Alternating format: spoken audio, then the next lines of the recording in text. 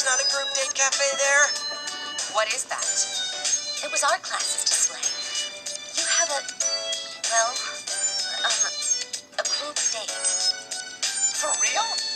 Man, I wish I was a student at your school. Is that any fun? I don't want to think about it. What's this group date thing? A group date is the crossroads of destiny.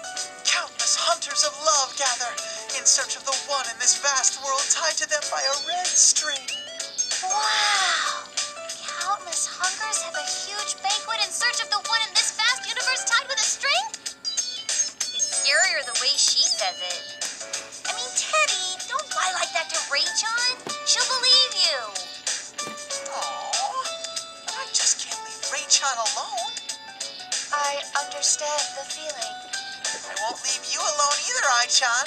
May I score with you? I refuse.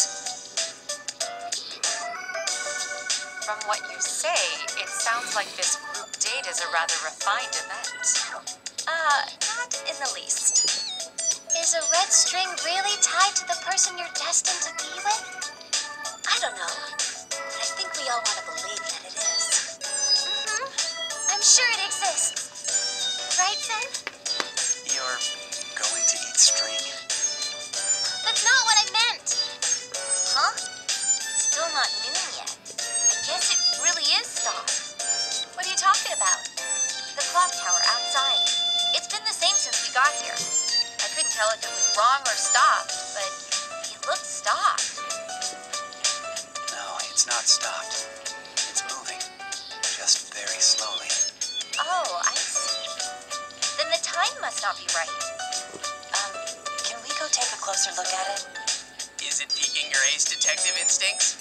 Not necessarily, but Ace Detective?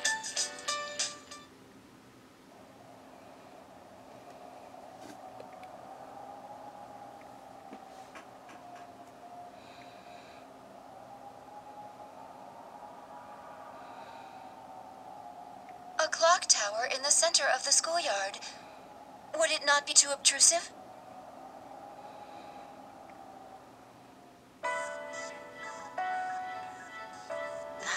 That's odd. There's no door that would lead inside. How is it maintained? Could its mechanism be inaccurate because of a lack of maintenance? Thing is, we never had anything like this at Yasogami. You don't? Actually, I recall recall an occasion when the principal told me something. He claimed there was a clock tower at Yasogami High at one point, though I don't know what it looked like. Oh, I think you're right. I kind of remember one. But I remember it being more like a small monument, not a huge tower. At least, I don't think it was so big that a person could go inside. And I remember hearing that it was demolished before I started elementary school. And that would place it over 10 years ago. Could this mean we've traveled back in time? Possibly. Wait, seriously? I can't say for certain yet. There's no explaining things with common sense in a place where shadows roam. You're right. This place is pretty strange. I don't recall going into a TV, and we don't need our glasses.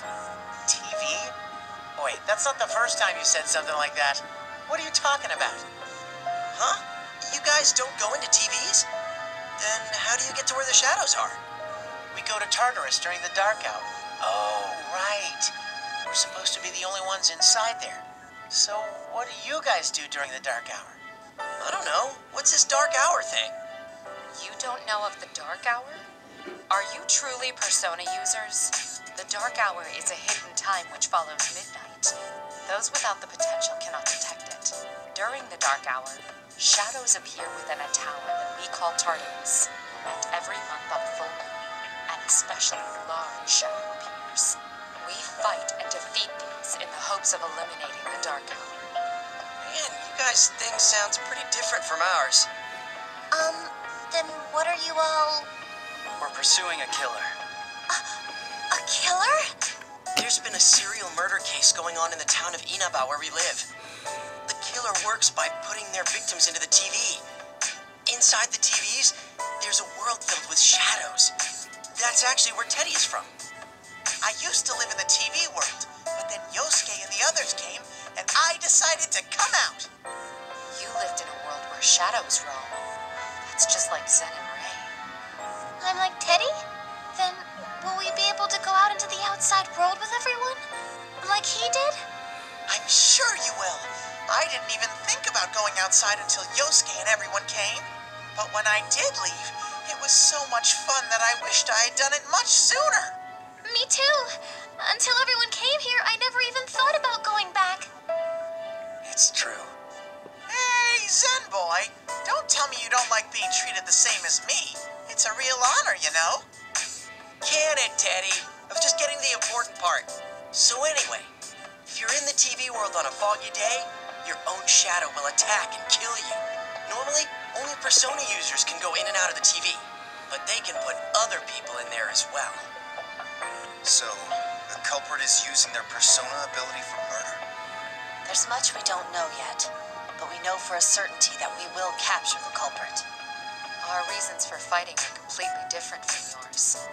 Anyway, this is not the TV world, and it's most likely not this Tartarus you speak of either, which means that we know almost nothing about it.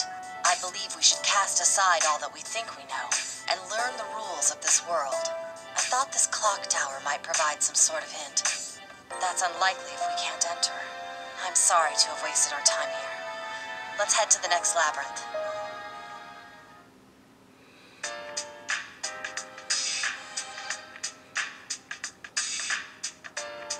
My hunch was right after all. Why'd they have to drag out such bad memories? Let's get on with it. We've got three big ones left, right? That should be the case. It is also possible that I will regain my memories. If Zenkun's memories return, we might be able to learn something about this world. All right, let's get going, leader. Oh, there's something important we need to decide on. Since we're a combined unit now, we should decide who our leader will be. Oh, is this my chance? The most reasonable candidates would be either our leader or yours. Yeah, thought not. What do you think?